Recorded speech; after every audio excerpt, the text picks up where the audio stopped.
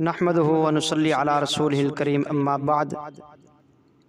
وقال النبي صلی اللہ علیہ وآلہ وسلم، صحیح البخاری اور صحیح مسلم میں حدیث موجود ہے۔ فرمایا، الحمدللہ اللذی احیانا بعدما اماتنا و الیہ النشور۔ تمام قسم کی تعریفات اللہ رب العزت کی ذات کے لیے ہیں۔ احیانا بعدما اماتنا